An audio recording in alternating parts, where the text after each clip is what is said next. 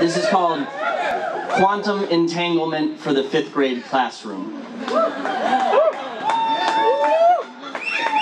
Every year, I am introduced to 56 fledgling movers, doers, builders, writers, speakers, leaders, lovers, listeners, nurturers, neighbors, humans. They are my charges. And I am charged with helping them distinguish positive from negative.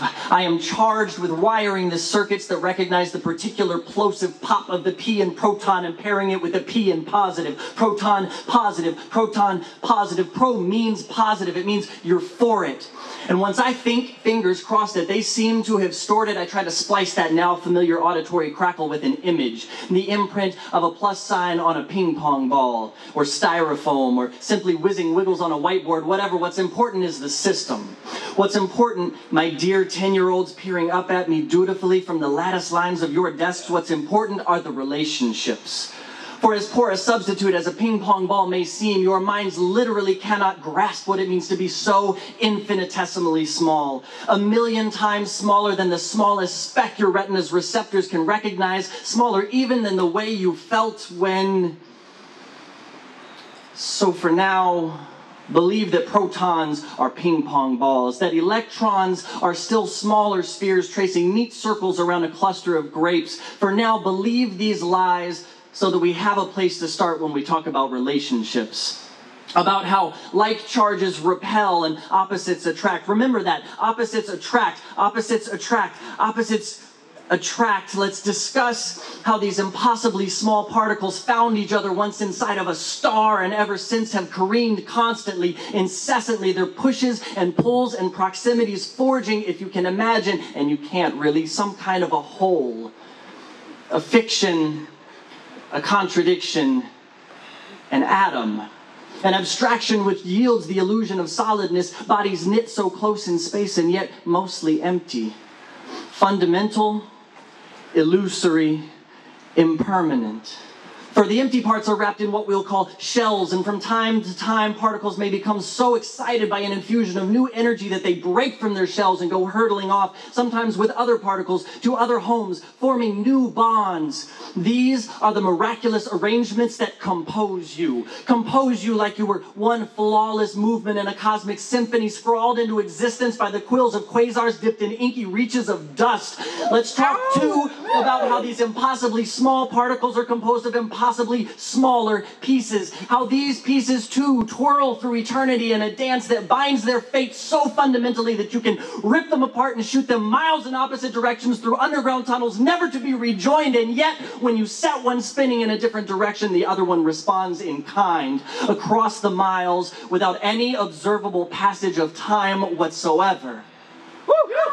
Children, you are my charges and I am charged with helping you distinguish positive from negative. I am charged with wiring the circuits that recognize consequences and fire when you make snap decisions. But precision isn't always possible, so I aim to build in a failsafe, a short circuit hardwired to the moral compass in your gut so that you trust it. And in an instant too fleeting to reason your way out of a bind, your mind may find guidance and veer towards the right, out of instinctive but practiced aversion to the wrong. Because we're not long for this life, but while you're here, what you become is the sum of a series of choices.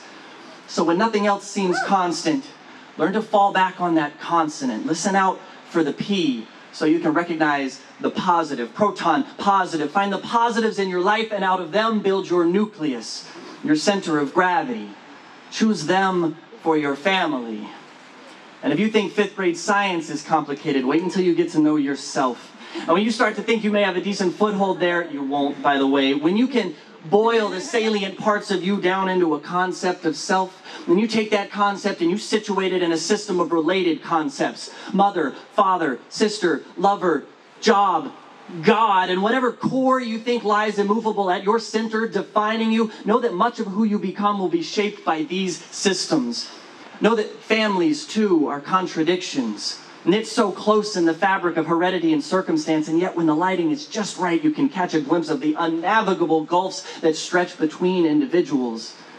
The family unit, a solid composed of empty space, And so, what's important are the relationships. And some of those you choose, and some were drawn up in contracts of fate that you were never witness to. But regardless of their genesis, know that you have agency to improve them and to release them. And when someone with whom you have felt a bond goes hurtling off into the distance, take heart. You cannot exist as an empty shell, as likely as that dim future will probably feel at some point. For one, you are not empty. Like an atom, the only truly solid part of you is what is found at your center. And two, when people go and holes open up in the peripheral parts of you, trust that sooner or later nature fills a vacuum. Like the concentric regions surrounding the nucleus of an atom, human hearts were made to be full. Trust your heart. I mean, as your teacher, I would be thought irresponsible if I told you the heart had anything to do with love or morals or any form of meaning which we construct, because the accepted scientific reality is that thoughts and feelings are simply the astounding product of an almost unfathomable process wherein electrical activity is orchestrated and directed through a vast network of conductive organic tissue inside of your brain. So I'll explain that. But your common sense will expose the flaw in my reasoning as you recognize that your dreams are too big to fit inside your head. So for now, believe that the heart is an organ of perception, and when you think you hear it speaking, listen. Let it guide you through the pushes and pulls and proximities which arise because these are the miraculous arrangements that compose you.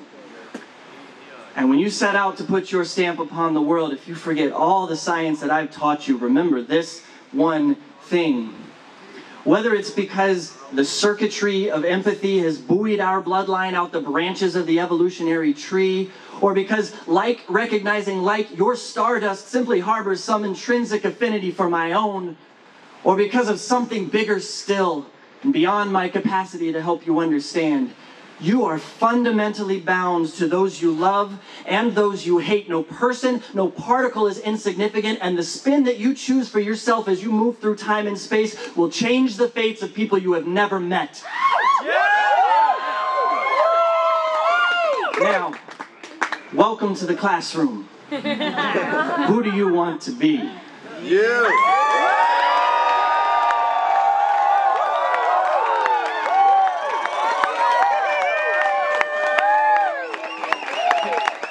Connection, thank you for helping me remember who I want to be. Have a wonderful